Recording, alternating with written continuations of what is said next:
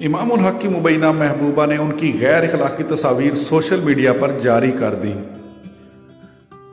قومی ٹیم کے بلے باز، سات سے آٹھ لڑکیوں کے ساتھ معاشقہ کرنے کے الزامات اور سامنے آنے والی تصاویر اور ویڈیوز کے باعث شدید تنقید اور بڑے تنازع کا شکار ہو گئے ہیں۔ تفصیلات کے مطابق پاکستانی کرکٹر امام الحق پر مبینہ طور پر کئی خواتین سے دھوکہ دہی کا الزام عائد کیا گیا ہے۔ پاکستان کرکٹ ٹیم کے اوپنر امام الحق پر مبینہ طور پر ایک سے زیادہ خواتین کے ساتھ دھوکہ دہی کا الزام عائد کرتے ہوئے ان کی مبینہ واٹس ایپ بات چیت کے سکرین شاٹ سوشل میڈیا پر جاری کیے گئے ہیں۔ سوشل میڈیا پر گردش کرنے والی مختلف پوسٹ میں امام الحق کی مبینہ محبوبہ کی جانب سے ان کی ایک غیر اخلاقی تصویر بھی شیئر کی گئی ہے۔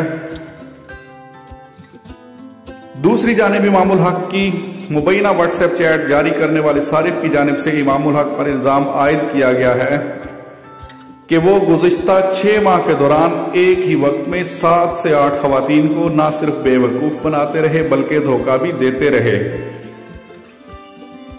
سوشل میڈیا پر الزام عائد کرنے والے شخص نے کہا ہے کہ ان کے پاس امام الحق کی واٹس ایپ پر بات چیت کے مزید سکرین شاٹس اور ویڈیوز بھی موجود ہیں۔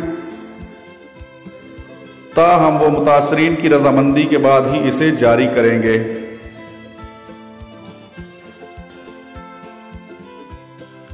واضح رہے کہ بائیں بازو سے کھیلنے والے کھلاڑی امام الحق دو ہزار سترہ سے اب تک اپنے انٹرنیشنل کیریئر کے دوران دس ٹیسٹ میچز، چھتیس ایک روزہ میچز اور بین الاقوامی ٹی ٹوینٹی میچز کھیل چکے ہیں۔ تیئیس سالہ امام الحق ورلڈ کپ دو ہزار انیس میں بھی پاکستان کرکٹ ٹیم کے سکوارڈ میں شامل تھے۔ امام الحق قومی کرکٹ ٹیم کے سابق کپتان انضمام الحق کے بھتیجے بھی ہیں۔ اب اس تازہ ترین تنازع کی وجہ سے امام الحق کا کیریئر شدید خطرے سے دو چار ہے امام الحق کو اس وقت سوشل میڈیا پر شدید تنقید کا سامنا ہے، جبکہ ان کے خلاف کاروائی کیے جانے کا امکان بھی ہے۔ امام الحق کی تصاویر سامنے آنے پر پی سی بی نے تحقیقات کا آغاز کر دیا ہے۔ پی سی بی حکام کا کہنا ہے کہ امام الحق سینٹرل کانٹریکٹ کا حصہ ہیں۔ ان کے سوشل میڈیا پر سامنے آنے والے معاملے کی چھان بین کر رہے ہیں۔ تحقیقات مکمل ہونے کے بعد کوئی فیصلہ کریں گے۔